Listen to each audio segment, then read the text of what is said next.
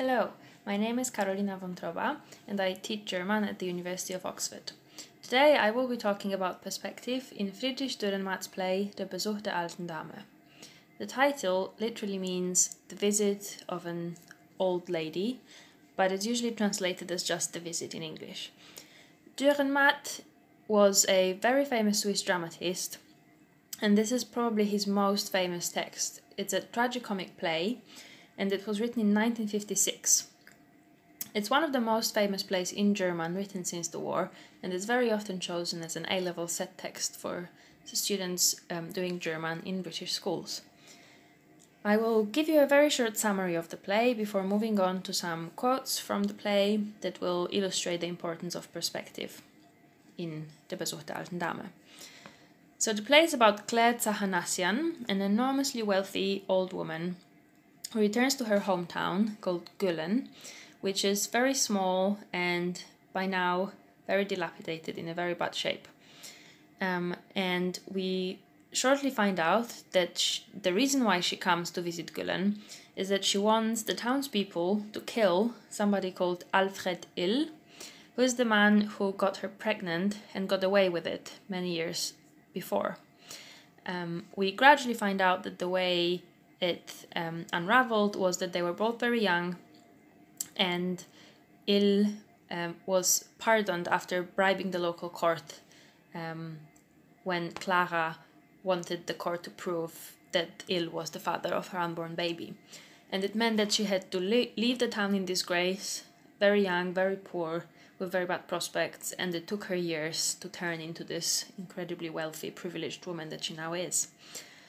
So when she tells the townspeople that she wants them to kill Alfred, their first um, response is no. Um, but we have a sense from the very um, first time that she raises this offer that this might change. And that's because she promises that in, exchange she will donate millions to revi- revitalize the decrepit town. And so we get a sense that this no might change to a yes. And this is indeed what happens in the course of the play. And one of the last things that happens in the play is that Alfred Ill is indeed killed by the townspeople. So, even from this uh, very short summary, I think it's quite clear that various questions about point of view or perspective are crucial in this play. So, first of all, and a very important question that structures the whole play is how the townspeople perceive Claire and Ill, who they side with, and how this changes throughout the play. Another change in their perception has to do with um, the passage of time from when Claire and Ill were young um, and Claire had to leave, leave the town to um, the moment when the play takes place, when Claire comes back after many years. And a third aspect of this change of perspective has to do with the audience. So we also have to ask ourselves how does the perception of the audience on the events of the play, and especially um, on Claire and Alfred, changes throughout the play. So, having sketched out this framework of looking at the play from the perspective of perspective, as it were, I will now look at um, five different quotations that come up in different parts of the play to um, see in detail how these changes in perspective occur. So, the first quote um, that you will now be able to see on the screen comes up towards the beginning of the play when Clem um, arrives at the train station in Güllen. And she's greeted by the ticket inspector, so the Zug, Zugführer, but he's not impressed with her at all because she actually forced the train to stop at the train station to get out there. And he says, Madame, wenn Sie Güllen zu besuchen trachten, bitte steht Ihnen in Kalberstadt der 12 12.40 Uhr Personenzug zur Verfügung, wie aller Welt. Ankunft in Güllen 1.13 Uhr. So he compares Claire to other people. He uses this German phrase, um, alle Welt, so anybody, everybody.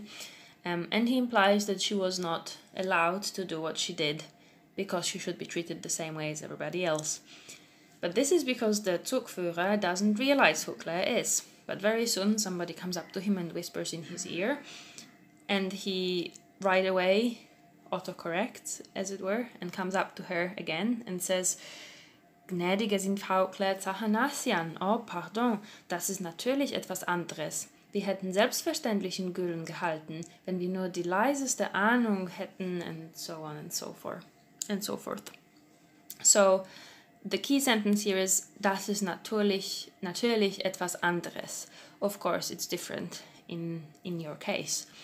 So here we can see how very early on in the play, Claire is singled out as somebody very different than everybody else who will have this um, huge amount of influence on the life of the town. And we get a good sense of it just by looking at her interactions with the ticket inspector in the first scene when she arrives in Güllen.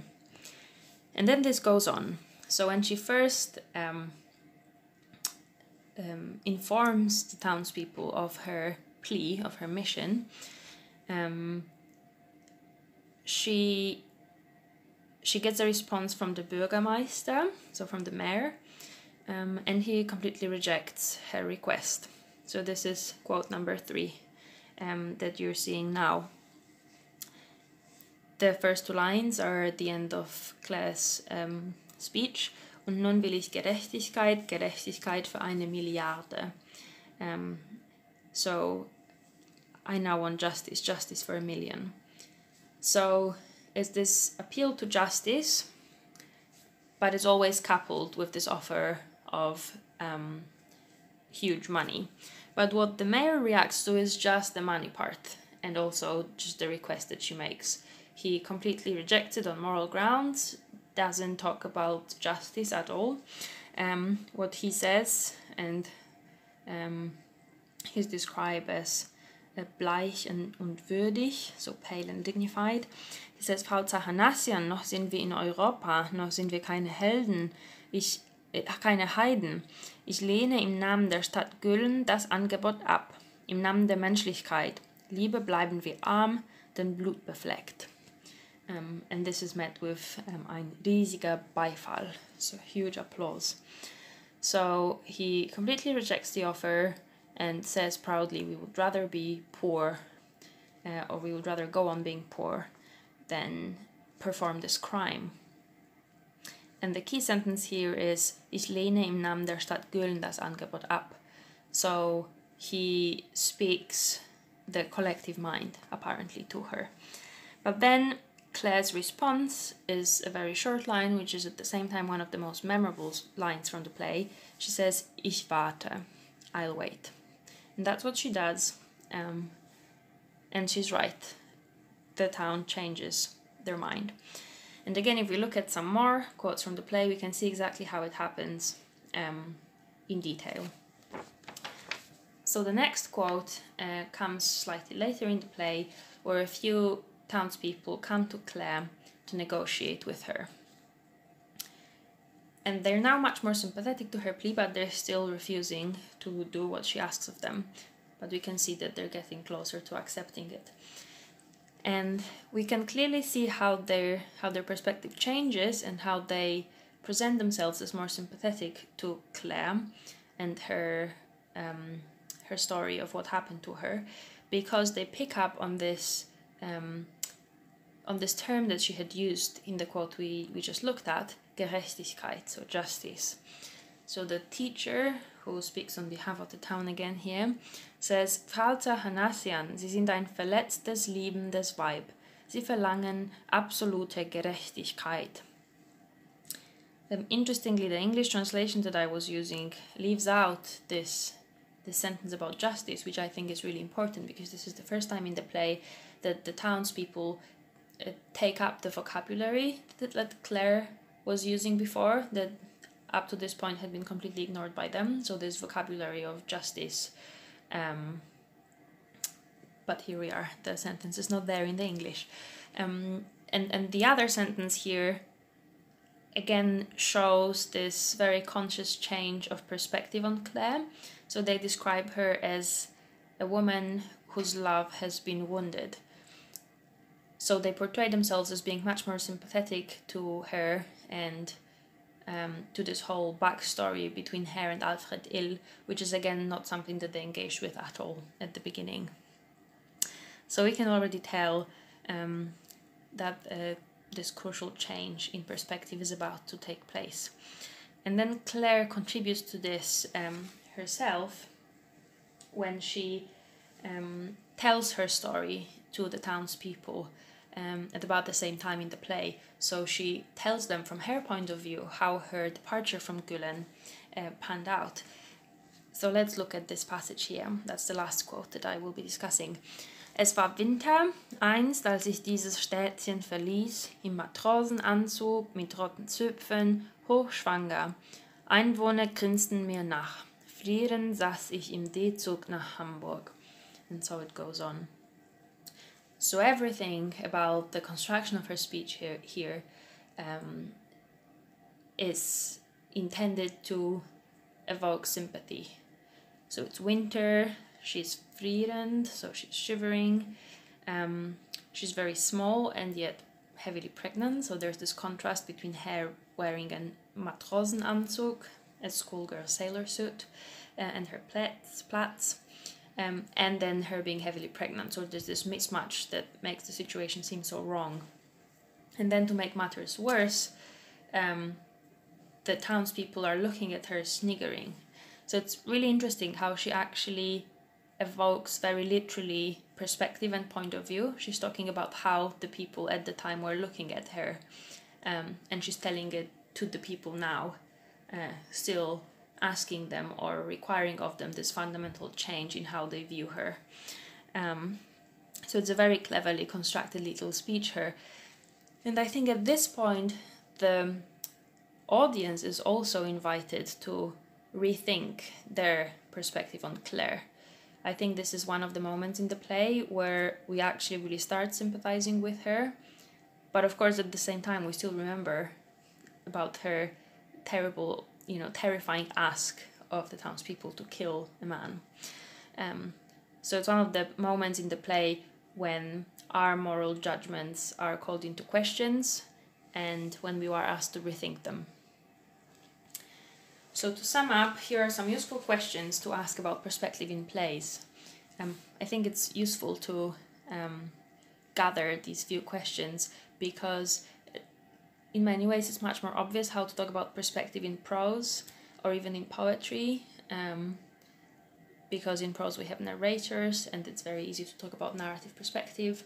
Uh, poetry is always seen as this very subjective art which is all about subjective perspective. But then in drama i think we can also ask product- productive questions about perspective. Um, and here are some. How is the story presented to us? How do we find out about the different elements of the story is the audience ever directly addressed? Is the play easy or hard to follow, which will naturally influence how we're able to relate to the events in the play and how we perceive them? Do we get emotionally involved in the story? This again has everything to do with the question of perspective. Um, in what position um, are we placed? What is um, what point of view are we invited to adopt in relation to the characters and events in the play. To what extent does the play resemble real life? So, are we invited to um, judge this play through conventions of realism, or is it more grotesque, for example? There are lots of moments in this play in particular where we're actually asked to suspend our expectations associated with realist conventions and sort of relish these grotesque moments. Um, do we adopt the point of view of one character this is something that I've also been talking about um, discussing these quotes.